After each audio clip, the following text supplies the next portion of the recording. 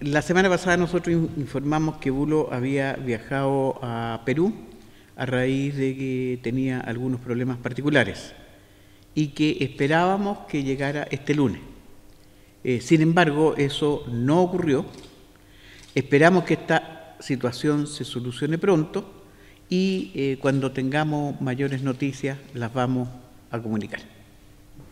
Cuando existen problemas, a veces la fecha o el tiempo de resolución no son exactos y nosotros creíamos que era menor de una semana y sin embargo dijimos que fue una semana. Eh, eh, desgraciadamente no ha sido así. los problemas continúan y, como te digo, esperamos, esperamos que esto tenga alguna resolución final.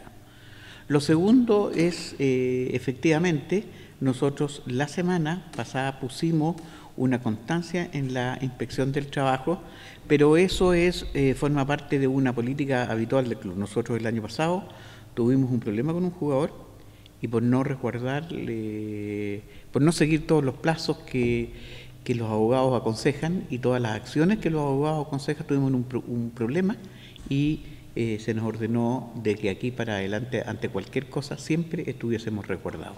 Es nada más que eso, no es otra cosa. La verdad que nosotros esperamos que las cosas se solucionen y que el jugador regrese.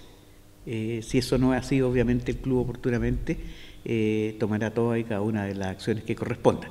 Pero en este momento lo que yo te puedo decir es de que esperamos que las cosas se solucionen y el jugador regrese. Día no te puedo decir, porque si no después del día estaría nuevamente a decir que el jugador no llegó. Pero la verdad es que queremos que ser transparente y que ustedes estén informados de cómo es la situación.